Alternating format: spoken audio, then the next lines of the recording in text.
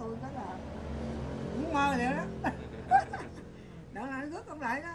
Mà chặn dạng rồi bắt đầu đèn rơm ra cái hồi đó là không? khi lúc đó bởi vì nó có trong cái à, cái vòng quanh nó nó mười mấy số vuông đó. Dạ. Tại ra nha bởi vì người ta làm khổ quá không có. mới đi máy bay ra.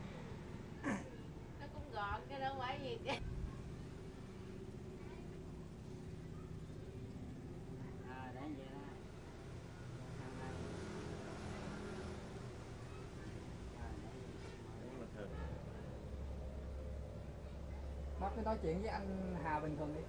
Đó đó đó. Lại xuống chợ là mỏi tay. Dạ. nặng lắm chứ đâu nhẹ dễ lắm. Nhóng lên trước nhóng Là lên. chắc trước. nè. ờ vậy được rồi đó. Nói là- phải chống mẹ. Với này ha rồi vài bữa lên leo lên anh. Dạ. Lên hả? lên gì đó ngộ lắm. Rồi, ờ. bây giờ cái à, à.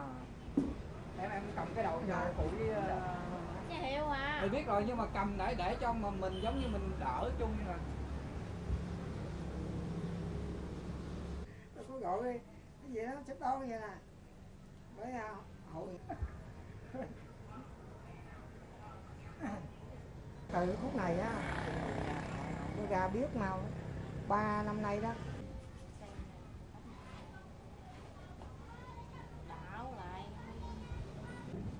Mấy cái này nó hớt cho nó gọn nè. Mà hớt một lần rồi nha là bốn năm ngày là con người làm như nó, nó khờ á làm như mình ngủ cái nước vậy nó khờ vậy đó, đó. rồi à, à, thôi cái mình biết chắc làm này như vậy thôi. Rồi cái sau cãi để khiết vậy ngồi cái nó cũng vô à. Nó thêm thêm vô.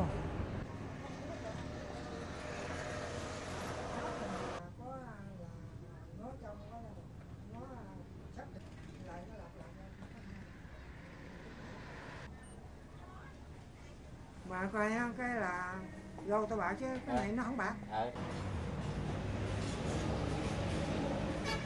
từ tiếng mỹ đó là nó chưa biết cứng nhắc luôn. Đó đây ta nói này nó ra mình muốn thọt vô nè. Đó thọt nó ra quạt như nè. Nó muốn vô nữa rồi nè thấy không? Cậu cậu thấy nào rồi đó? Quỷ nhĩ vô đây rồi. Vô hả? Ừ. Là mình thấy cái này nó mất rồi đó. Bây giờ ta nói nha nếu mà cái như không đấy như không mà. Dạ có. Lúc đó thì còn cục đó thì tôi có gội tắm gội cho. Mà khi tóc quá dài á, thì à, khoảng chừng mười mấy năm trở lại đây á, thì không còn gội đầu nữa.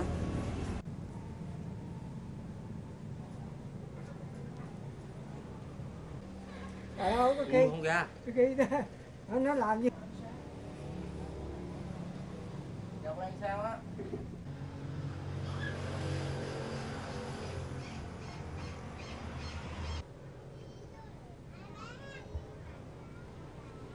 Mình huyết áp ra còn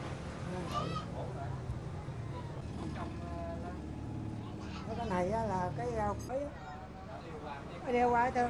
Mà mặt mày nó nóng lên nó đỏ lên chứ còn nó khỏe lắm. Đó là tự nhiên. Nó... không có đâu tự nhiên thoải mái lo làm bất cứ chuyện gì. À, lo cũng vui vẻ lắm không có gì hết cao là huyết áp tăng đó. Thêm cái này vô